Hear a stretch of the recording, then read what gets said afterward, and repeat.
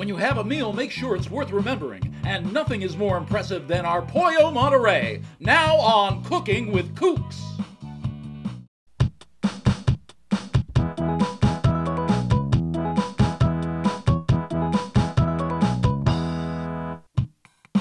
Hello, foodies. My name is Chef Jose Peele, the man with the black belt in cooking, and today I will prepare for you one of my creations, Pollo Monterrey, a south of the border dish so popular at my old restaurant they were sucking it up like a hungry vacuum cleaner. Chef, why don't you call it poultry instead of pollo? Grandpa, you know nothing about embellishing terms and titles for menus. We call it pollo because other languages sound exotic, and pollo is Spanish for chicken.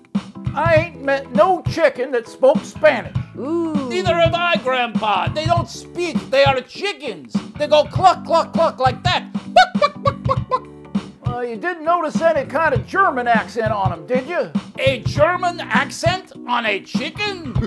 Most chickens I met speak German or Dutch, uh, some Hungarian too. Uh, you just never noticed because I'm a wizard and I have this aura that can allow me to hear them when they talk.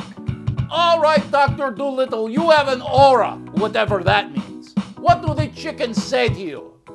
I'm a wizard, not a linguist. I can tell they're speaking German or Dutch though. Well, at least they are polite. What do the pigs say to you? Do they speak pig Latin? pig Latin. Pigs are the only ones speaking Latin nowadays. Now, you could go to the farm and you can hear the pig go.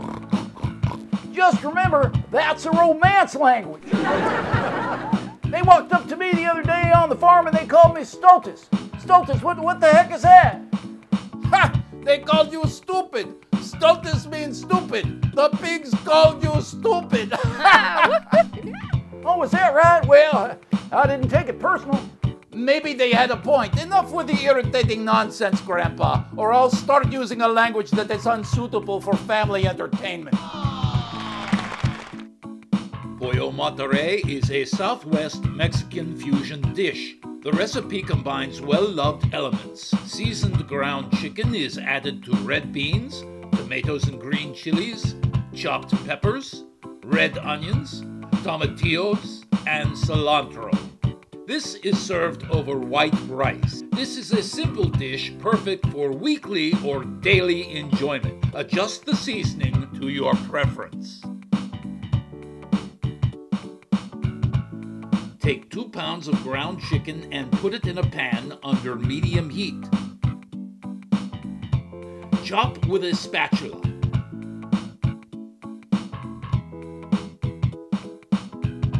Add the salted pepper.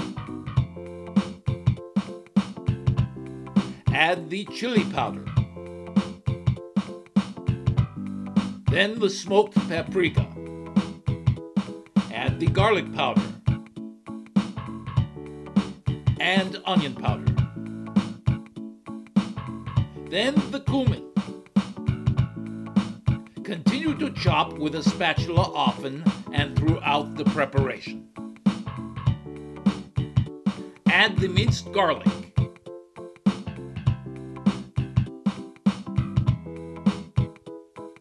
Then the hot sauce. Add the lime juice.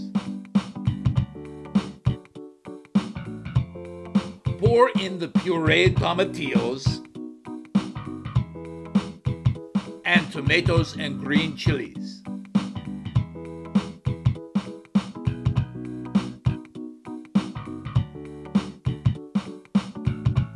The red onions come next.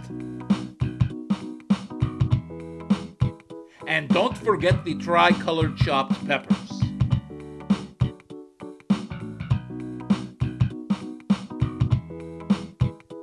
Lastly, the red beans. Give it a stir and cook for three minutes. The chopped cilantro comes at the end.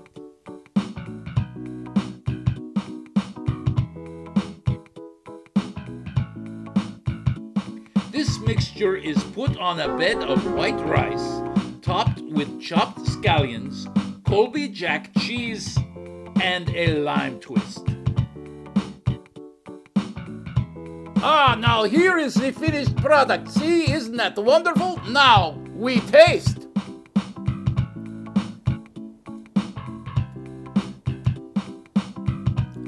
Mm. Oh, that is good. I need a second helping.